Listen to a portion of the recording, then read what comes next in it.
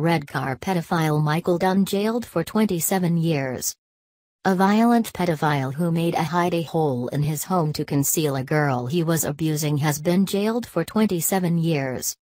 Michael Dunn knocked through the wall behind his fridge at his house in Mottram, Greater Manchester to create a cavity to hide the runaway from police. Teesside Crown Court heard the 57-year-old, from Redcar, raped and abused four girls over a period of decades. His offences took place around the country. Greater Manchester Police has referred itself to the Independent Police Complaints Commission, IPCC, amid concerns opportunities to catch him were missed. Paranoid and controlling. Dunn was convicted in January of 10 rapes, false imprisonment and indecent assault. One of his victims was aged just 10 or 11 when he first raped her. Judge Tony Briggs said, The history reveals you to be a devious, manipulative and controlling man with a strong urge to dominate. The court had heard he was paranoid, controlling and short-tempered. Prosecutors said his victims suffered physically if they challenged him and he had sex when he wanted.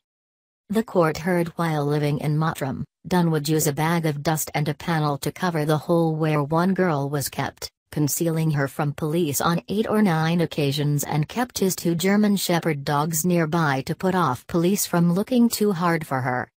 He knew she had already been the victim of sexual abuse, having been raped and beaten by another man.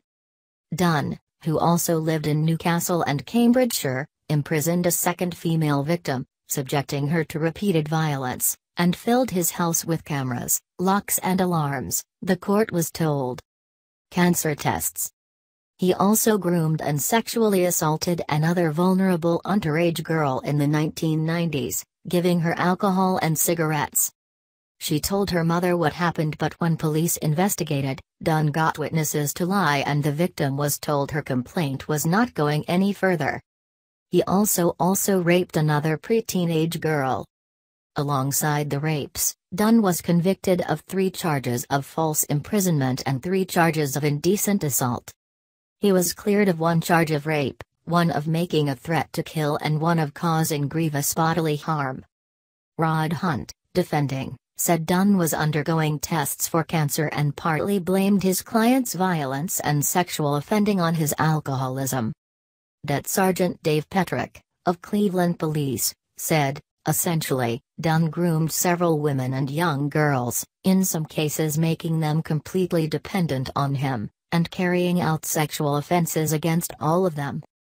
Some of the victims were kept in line through Dunn's extreme violence or even through the fear of violence and he had complete and absolute control over their lives. Children's charity the NSPCC said authorities should now examine how Dunn was able to carry out this horrific campaign of abuse for so long. A spokesman said, Dunn used fear and intimidation to control his victims and forced them to keep silent for years. The repeated sexual abuse they suffered at his hands is truly sickening. Dunn is a danger to the public, to the public.